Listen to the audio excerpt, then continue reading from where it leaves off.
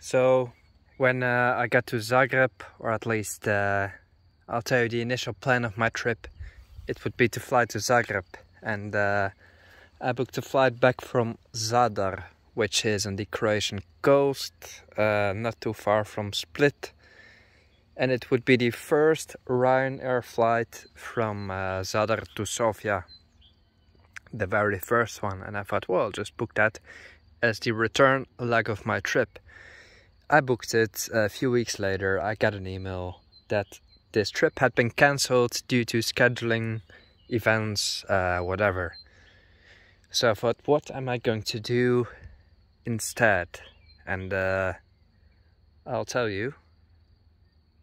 Instead, I could have booked a flight back from Zagreb or anywhere, but I wanted to have the whole week and to fly back on the Sunday evening. What I did is I looked at flights from Zagreb to Bratislava and from Bratislava to Sofia.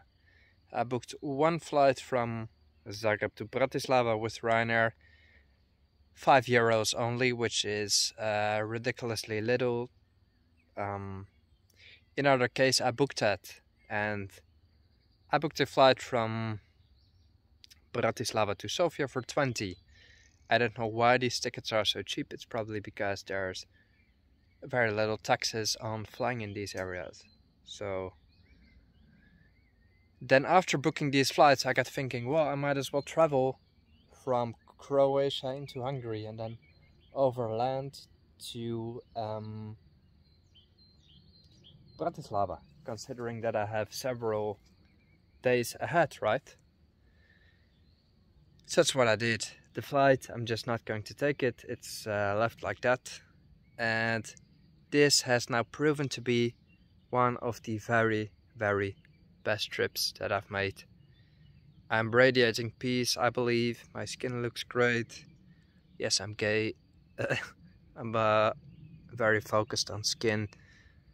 Uh, my skin is perfect. I've seldom felt this good in my life. I'm uh, I'm having issues recording videos now because my phone is basically full. Issue is that I post both on YouTube and Instagram and I can't keep up with posting because I need to make different thumbnails and everything and there's delays and oh it's a lot of work to keep this up and going truly. With the backups and everything is just uh, kinda tough. It's like a job essentially